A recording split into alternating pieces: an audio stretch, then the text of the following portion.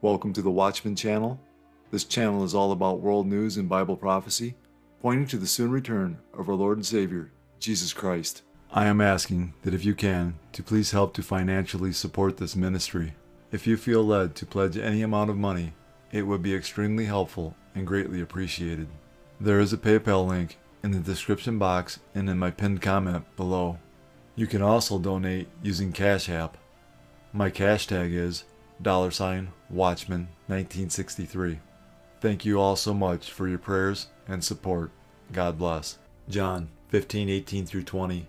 If the world hates you, you know that it hated me before it hated you. If you were of the world, the world would love its own. Yet because you're not of the world, but I chose you out of the world, therefore the world hates you. Remember the word that I said to you A servant is not greater than his master. If they persecuted me, they will also persecute you. Jesus said as a sign of his coming and the end of the age, Christians would be persecuted as we read in Matthew 24 9 and Luke 21 12. Matthew 24 9. Then they will deliver you up to tribulation and kill you, and you will be hated by all nations for my name's sake. Luke 21 12. But before all these things, they will lay their hands on you and persecute you, delivering you up to the synagogues and prisons. You will be brought before kings and rulers for my name's sake. A social media post quoting the book of Romans, a testimony of leaving the gay lifestyle to follow Christ, silently praying outside an abortion clinic. Christians in Europe are facing potential prison time for these so called offenses. As CBN's Billy Hallowell explains, it's part of a growing trend of threats to freedom of speech and religion. Religious liberty battles spreading across Europe and beyond are sparking fears about if and when these same struggles could come to America. In Finland, a member of parliament is one of the more prominent people on trial for her religious views. It was four years ago, in June 2019, uh, when I posted a Twitter post and also to Facebook. And it was about uh, the Pride event that was going on, and uh, that the main church, the Evangelical Lutheran Church, uh, decided to support it uh, officially and it was a shock to me. In questioning the church's support, Päivi Räsänen shared a verse from the book of Romans about same sex relationships and quickly found herself in a legal battle. Some citizen made a criminal complaint about this uh, Twitter update. And uh, then police started to investigate the case. After it came into public, then there became more and more criminal complaints about one radio program, uh, and and then there was an old pamphlet I had written already 2004 uh, about uh, marital and sexual issues. While unanimously acquitted of charges last year, prosecutors appealed Räsänen's case, leading to a second trial. The maximum uh, punishment is uh, two years jail or, or fine. In our constitution, we have the freedom of speech and freedom of religion. Unfortunately, this struggle goes beyond Finland. On the Mediterranean island of Malta, Matthew Grech, an ex LGBT activist, faces potential prison time after sharing his testimony of leaving a gay lifestyle to follow Christ. Uh, last year, I was invited to uh, share my story on a program and answer questions about so called conversion practices.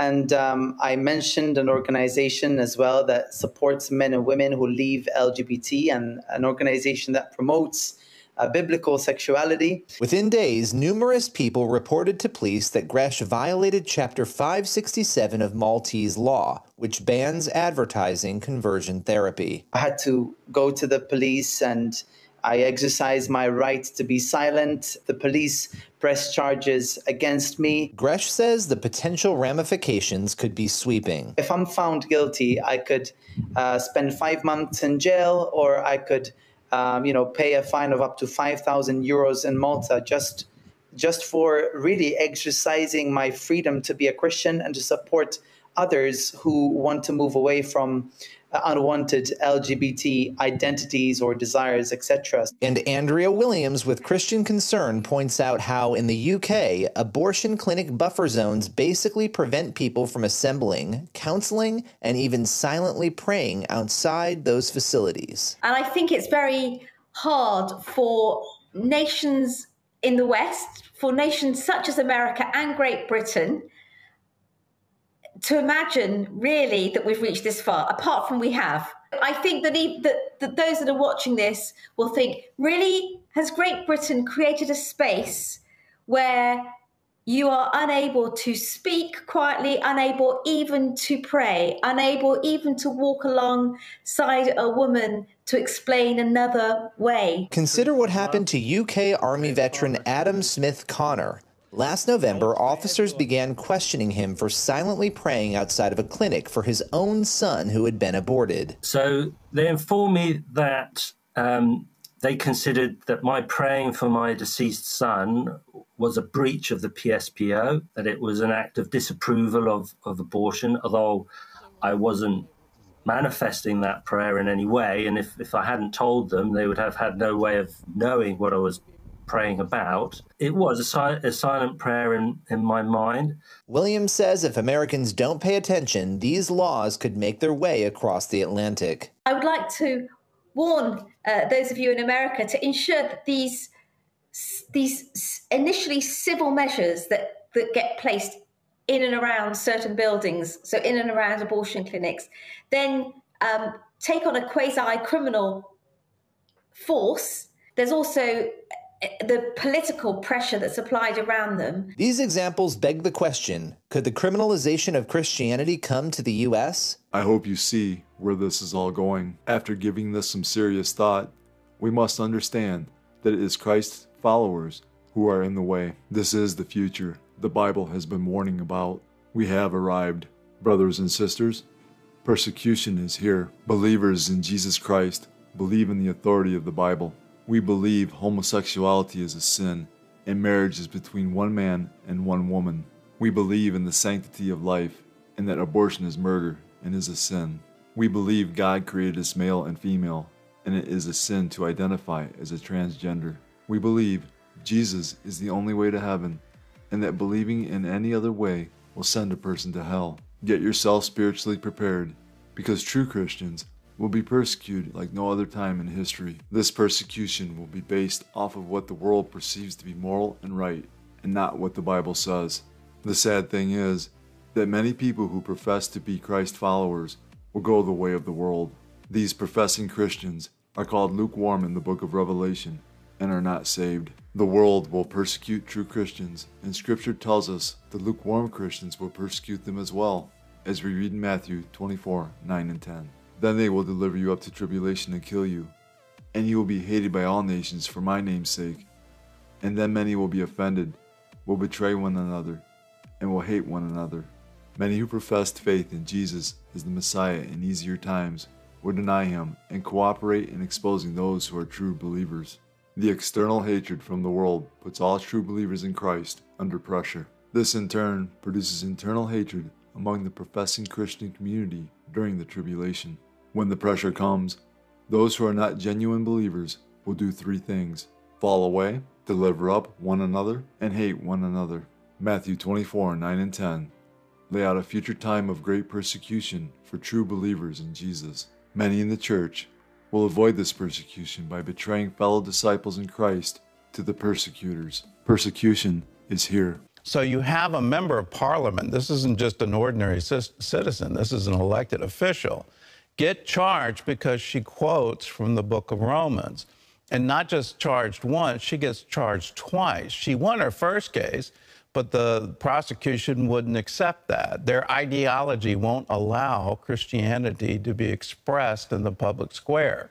They, they won't just, just flat won't do it. And so they've brought yet another case. The island of Malta, you see Christian persecution, people that have come out of a lifestyle just as they did in the first century. The New Testament, such were such as you, but you have come out from this. That is going on in traditionally Christian cultures. Well, this is just Europe. Let me draw your attention to a case that was just decided by the Supreme Court where a football coach in Washington State was not allowed to pray in public. He wasn't allowed to go take a knee on a football field and pray. Now, that got decided. That went all the way to the Supreme Court to defend his right for his religious freedom. Let's turn to Colorado. There, a baker was absolutely targeted by the state government, and they're taking him to court yet again. That one went all the way to the Supreme Court. They lost there, but their ideology won't allow someone to say, I have the freedom of conscience, I have the freedom of speech, I have the freedom of religion. If we don't have this freedom in the United States, we, we really don't exist anymore. It's all illusion. If you have these enforced ideologies, this cancel culture, all of these things, and then on top of it, the threat of the state coming after you and litigating, no one has the resources to defend against that kind of power. We need to participate, but we also need to pray, and most importantly, we need to preach Christ and Him crucified. When you think of famous psychologists, Sigmund Freud comes to mind, Carl Jung. But today, Dr. Jordan Peterson. Peterson was known as an outspoken intellectual. He said what was on his mind. And most of the time, what he said was controversial. Like in 2017, when Canada tried to criminalize using improper pronouns, Peterson was the face of the resistance. I think Facebook now recognizes something like 71 separate gender identity categories, each of which, in principle, is associated with its own set of pronouns. And so it's become, well, linguistically un- it's, it's become a parody, essentially. It's become linguistically unmanageable. I just don't understand that. And, and I don't understand how the government can justify imposing a criminal penalty on the use of words that no one either knows or uses. Jordan Peterson had common sense, rooted, though, in deep academic rigor, which alarmed the left because they couldn't academically discredit him. He had the credentials and scholarship they envied. And the more Dr. Jordan Peterson told the truth, as we've understood it for millions of years, he became dangerous. He became a top censorship target in the West. The more he was censored, though, the more popular he became. This was unacceptable. So now Dr. Peterson is being reprogrammed. The Canadian courts and the Canadian psychology boards forcing Peterson to submit to social media training. And if he refuses, he's stripped of his license to practice, essentially canceling him. Why?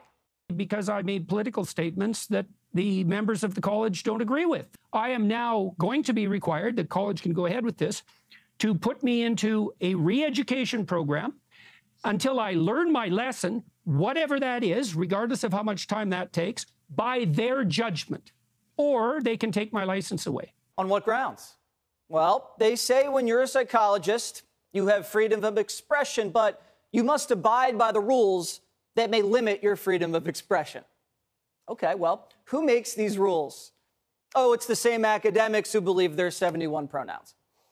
They say Jordan Peterson is so unprofessional, he poses a risk of harm to the public. Trudeau's lockdowns didn't harm the public. Jordan Peterson's criticism of Trudeau, that harmed the public. I'm at my daughter's wedding in California. I will never forget, Justin Trudeau, that my father is not here because of your utterly unconscionable, unconstitutional, and vindictive travel ban.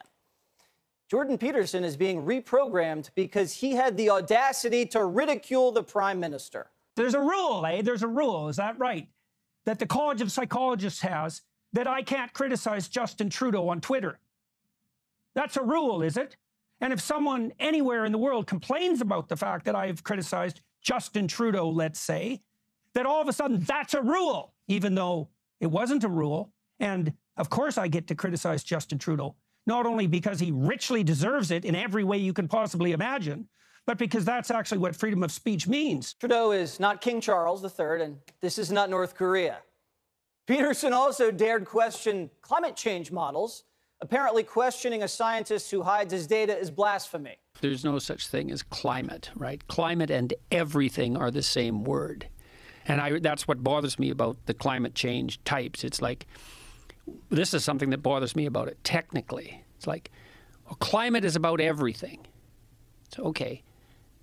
But your models aren't based on everything. How did you decide which set of variables to include in the equation if it's about everything? If it's about everything, your models aren't right. Because mm. your models do not and cannot model everything. Peterson wasn't done.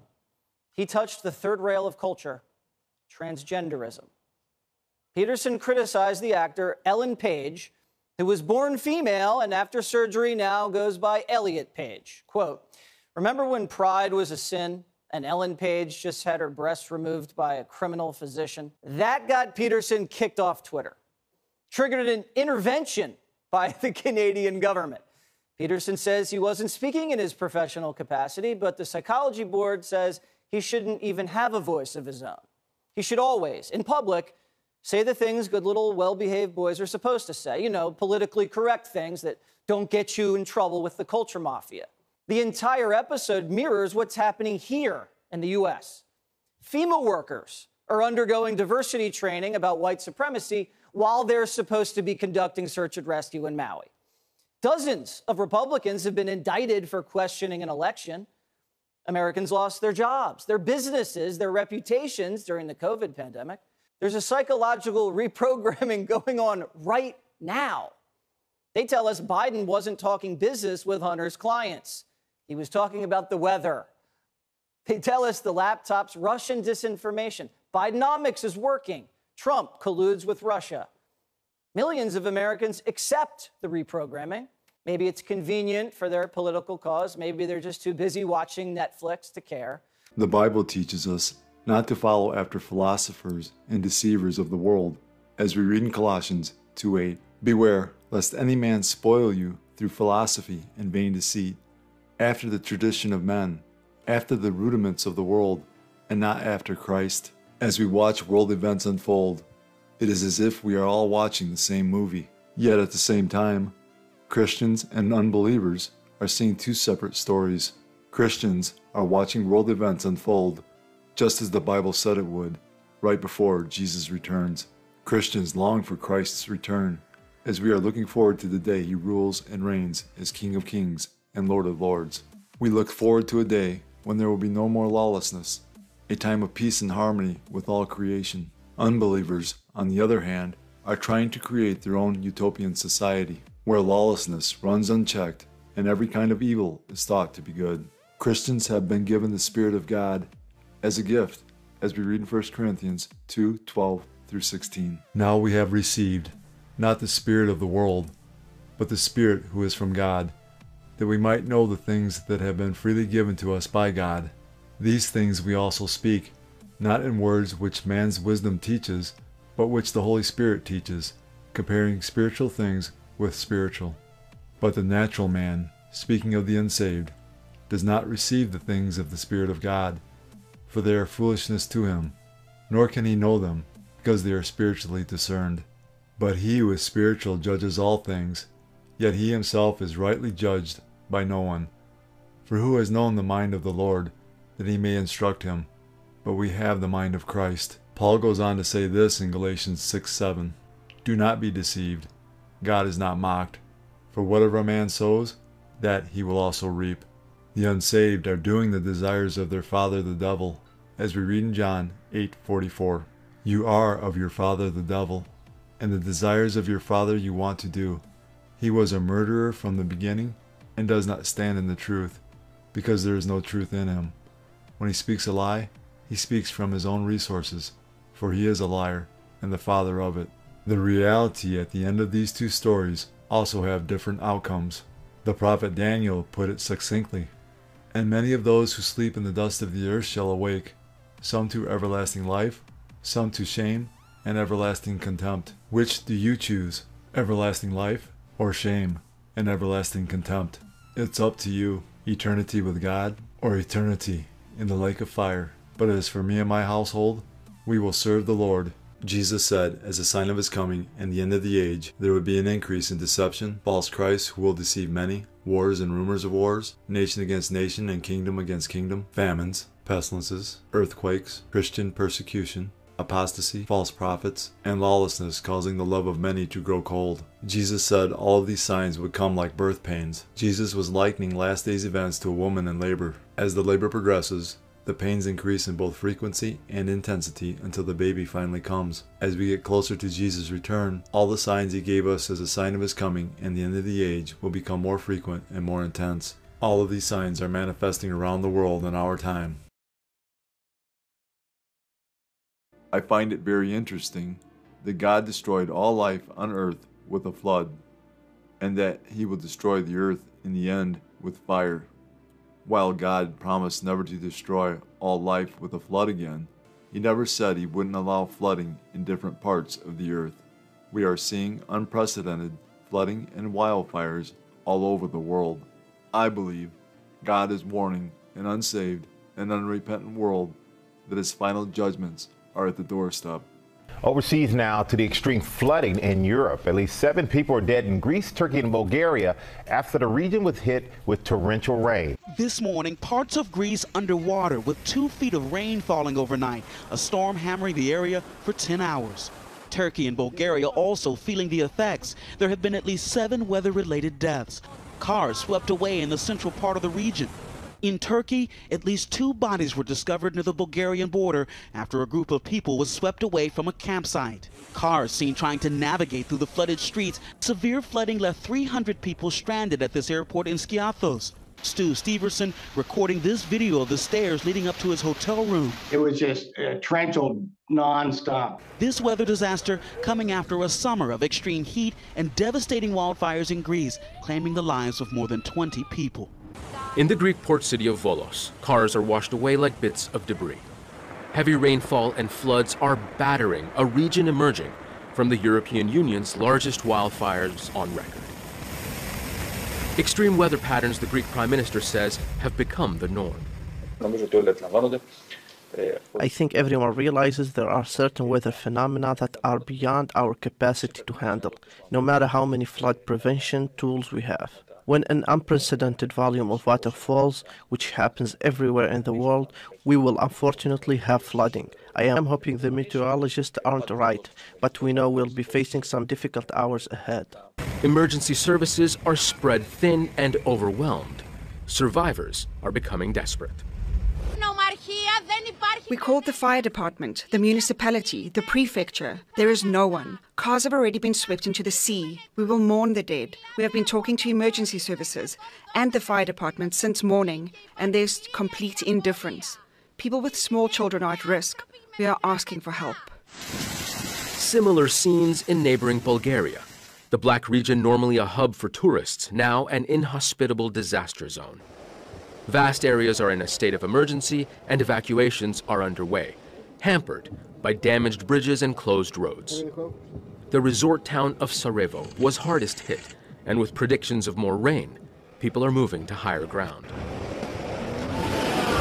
In Turkey, at least two people were washed away when floodwaters swept through a camping site in the northwest. Other holiday makers are missing search and rescue operations are underway. In Istanbul, heavy rain flooded streets and homes in at least two suburbs. The Disaster Management Agency says more storms are predicted in parts of the country and has issued warnings for flash floods, lightning, and strong winds. Forecasters say a heat dome over Europe is causing high temperatures and resulting in extreme weather. Phenomena that can last for days, weeks, even months. This, they say, could become one of the worst floods in Europe in recorded history on land, on the metro. Torrential rains wreaking havoc across Spain. As motorists faced flooded roads, emergency services tended to more than 1,200 incidents in the Madrid region alone, where sudden heavy rain caused chaos after a summer of record temperatures. In Toledo, the capital of the Castilla-La Mancha region, the city's industrial area was inundated. Trains were cancelled, leaving residents and tourists alike stranded. It's really crazy. we kept going outside and we were looking at the clouds. We're like, okay, are we going to be safe? What's going to happen? But it just kept raining. and. But even catching a bus proved difficult, as garages were heavily flooded, leaving vehicles stuck amid the mud. In the Catalan town of Alcanar, the downpour turned this rural road into a river, confining residents to their homes, leaving behind a trail of damage in its wake. We organised amongst ourselves to make ropes with towels and bed sheets and used them to pull two young men who were grabbing onto the columns. We pulled them to the top floor and saved them. It was terrifying, very, very scary with small children, women. Nobody showed up. We were left alone to save ourselves. While the ferocity of the rains has begun to subside, the damage they caused remains evident and the clear up significant. Spain's National Weather Service has lowered the alert level from red to yellow, but it is far from normal for many to resume their usual activities in the worst affected areas. Here at home now to the urgent evacuations in a part of East Texas as a wildfire rages out of control. Right now, I'm in Walker County, about an hour north of Houston, where a massive wildfire is burning through more than 3,000 acres and is just 10% contained. Emergency management and fire crews telling us that this is a fast, extreme moving fire. Yesterday, they told us that around 4 p.m. it was 100 acres, and then an hour later, more than 500 acres. 10 p.m. it was over a thousand, and as I mentioned, now this morning, 3,000 acres, just 10% contained. It is working its way through trees and underbrush in a rural part of the community. However, there's still plenty of farmland and homes in the area. Because of that, evacuations have been suggested. At this point, we don't know a cause for the fire. However, Texas is dealing with extreme drought conditions, making the work to contain this fire that much harder. Jesus declares this in Matthew 24 37 through 39. But as the days of Noah were, so also will the coming of the Son of Man be. For as in the days before the flood, they were eating and drinking, marrying and giving in marriage, until the day that Noah entered the ark, and did not know until the flood came and took them all away, so also will the coming of the Son of Man be. Jesus tells us in verse 37 when our days parallel the days of Noah, he is returning. One of the things that parallel our days with the days of Noah is the unprecedented flooding the world has been experiencing over the last few years. Jesus goes on to tell us in verses 38 and 39 that when he returns, things will be going on as normal, as people will be eating, drinking, marrying, and giving in marriage. Just as in the days of Noah, when people were caught off guard and the flood came, so also will people of our time be caught off guard when Jesus returns. I believe that time has arrived. Luke 17, 26 through 30. And as it was in the days of Noah, so it will be also in the days of the Son of Man. They ate, they drank, they married wives, they were given in marriage, until the day that Noah entered the ark, and the flood came and destroyed them all. Likewise, as it was also in the days of Lot, they ate, they drank, they bought, they sold, they planted, they built. But on the day that Lot went out of Sodom, it rained fire and brimstone from heaven and destroyed them all. Even so will it be in the day when the Son of Man is revealed. Just in the days of Noah, when God sent a flood, and in the days of Lot, when God sent fire and brimstone to judge mankind, he is about to send his final judgments on a wicked and unrepentant world. We have reached the stage where there is literally no pause between major weather disasters hitting the world. It is just one disaster after another. When times were normal, there would be a major disaster every once in a while. But now we have reached the stage where there's literally no pause between them. Sadly, this is how it's going to be now. It's just going to be one disaster after another. And most people will have absolutely no idea why any of this is happening. We are living in very troubled times, and people need hope. We read about that hope in John 3:16. For God so loved the world that he gave his only begotten son that whoever believes in him should not perish but have everlasting life. We also read about those who do not believe in Jesus are condemned and love darkness rather than light in John 3:18 through 20. He who believes in him is not condemned, but he who does not believe is condemned already because he has not believed in the name of the only begotten Son of God. And this is the condemnation that the light has come into the world, and men love darkness rather than light, because their deeds were evil. For everyone practicing evil hates the light, and does not come to the light, lest his deeds should be exposed. If you have not already done so, I strongly urge you to call upon the name of Jesus Christ to be your Lord and Savior today. Folks, God is sending us a message, and that message is you better act now before it's too late to save your soul. The signs of Jesus' soon return are so strong now, and the evidence is so clear that any person willing to accept the truth can see that the end of the world as we know it is near. For God so loved the world that he gave his only begotten Son, that whoever believes in him should not perish, but have everlasting life. For all have sinned and fall short of the glory of God.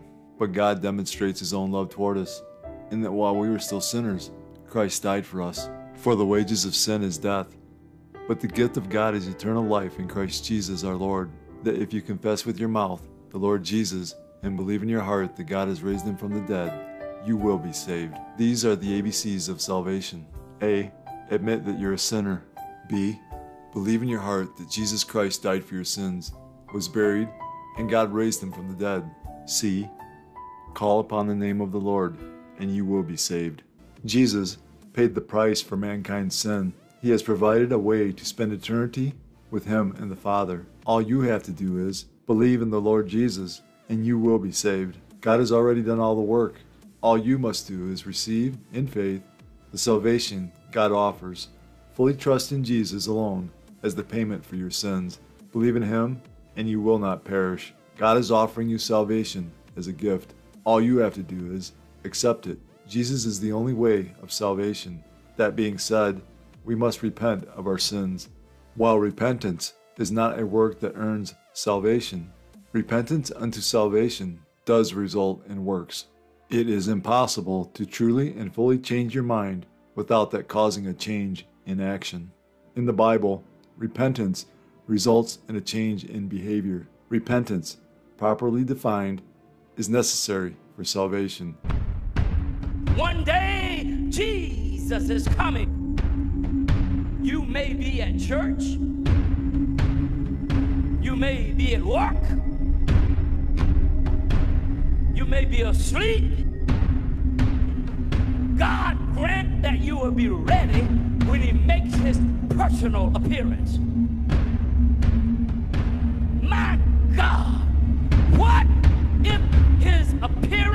Occurs on a Sunday morning? My prophetic word to you this morning is get ready! Get ready!